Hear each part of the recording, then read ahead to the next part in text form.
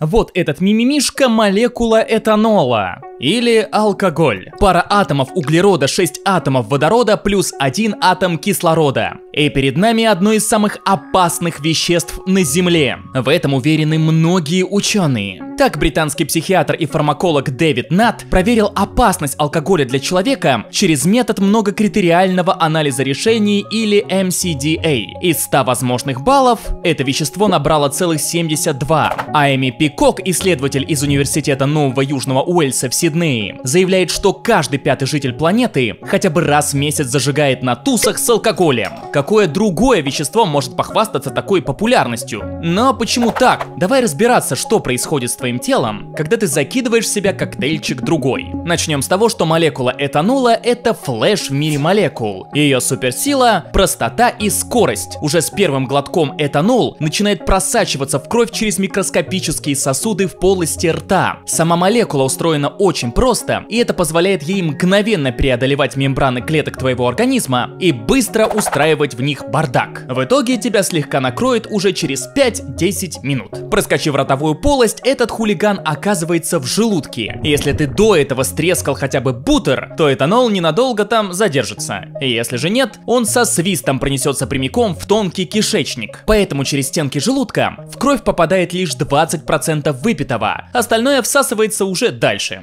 Далее молекула этанола устремляется в печень, главную химическую лабораторию твоего организма. Здесь она при помощи фермента алкоголь-дегидрогеназы превращается в ядовитое вещество – ацетальдегид. Затем другой фермент альдегид-дегидрогеназа расщепляет токсичный ацетальдегид до уксусной кислоты, которую твои клетки быстренько преобразуют в безопасную воду и углекислый газ. И если твоя печень может похвастаться хорошим здоровьем, то она переработает до 90% алкоголя.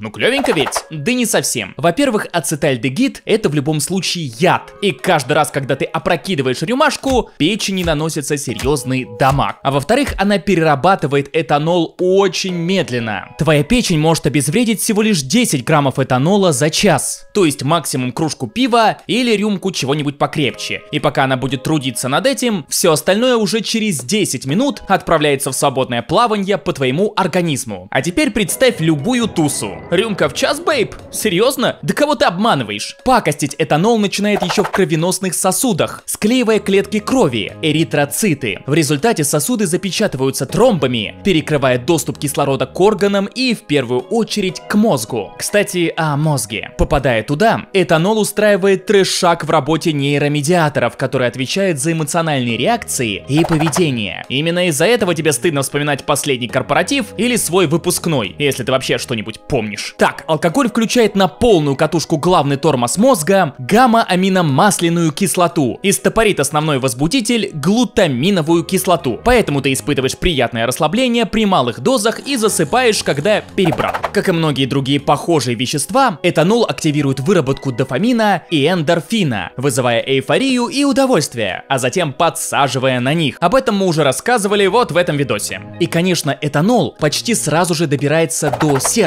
Он заставляет мотор работать на повышенных мощностях и гонять кровь, наполненную алкоголем. Растет пульс, а из-за тромбов повышается давление. В общем и целом, алкоголь циркулирует в кровеносной системе около 5-7 часов. Максимальной концентрации он достигает через 60-90 минут. И все это время твое сердце находится в полнейшем афиге. Потом ты внезапно начинаешь бегать в туалет. Это напрягаются почки, пытаясь выгнать токсины из твоего организма. Вдобавок алкоголь тормозит выработку гормона вазопрессина, который приказывает почкам удерживать жидкость. В результате они работают в усиленном режиме, а ты бегаешь на толчок. Когда твоя несчастная печень все-таки справляется со всем объемом выпитого алкоголя, тебя начинает отпускать. Как и когда это произойдет, зависит от кучи факторов. Веса, пола, генетики и, конечно, образа жизни. Так, наследственное соотношение между активностью ферментов алкоголь-дегидрогеназы и альдегид-дегидрогеназы определяет после скольких рюмок ты рухнешь лицом лицом в салат. А генетические различия в выработке дофамина, гамк и эндорфинов могут более активно подталкивать тебя к рюмке. И если у тебя в организме их недостаточно, то алкоголь получает все шансы стать частым способом залить тоску и навести суету. Ну я типа это почти не пью, так пару глоточков вечером, чтобы,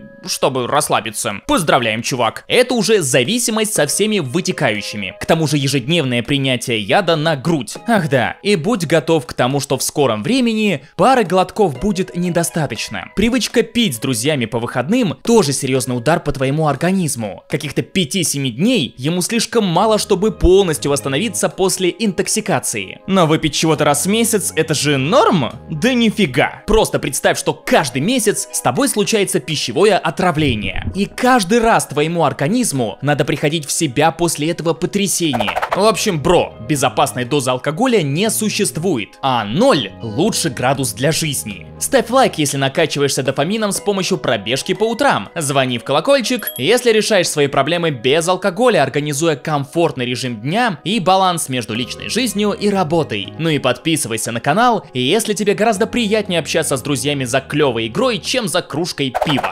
Особая благодарность нацпроекту Демография за помощь в создании этого видео. Больше пугающих, но очень интересных фактов о вреде алкоголя можно узнать на портале Минздрава России так здорово Ссылка в описании.